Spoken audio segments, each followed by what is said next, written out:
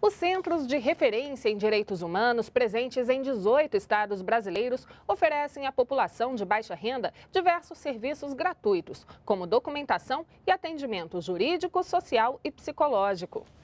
E para discutir os avanços e desafios do setor, até a próxima sexta-feira, representantes do governo e dos 38 centros do país estão reunidos em Brasília. Amanda mora há 15 anos em uma área ocupada em São Paulo que divide com outras nove famílias. Ela conta que recentemente um homem procurou o grupo dizendo que era dono da área e ameaçou os moradores com uma ordem de despejo.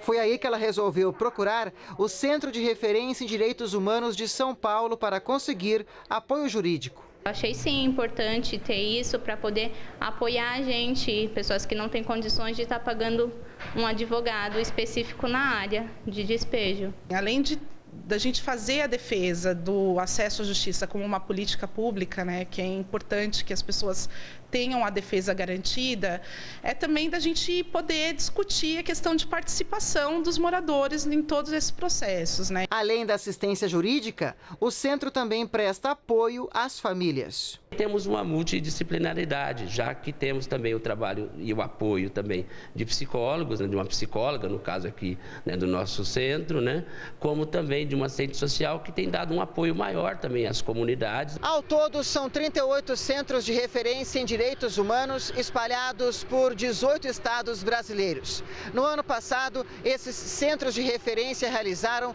quase 92 mil atendimentos, mais do que o dobro registrado em 2012. Neste encontro em Brasília, representantes de todo o país trocam experiências e apontam desafios, como a ampliação e a diversificação dos centros.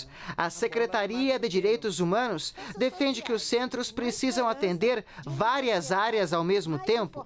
Outro desafio é transformar a iniciativa em política pública permanente. Nosso objetivo com isto é ir consolidando de tal forma que nós possamos ter os centros de referência em direitos humanos equivalente a hoje o que nós temos dos centros de referência de assistência social, né? que a gente uh, tenha como rede mesmo, né?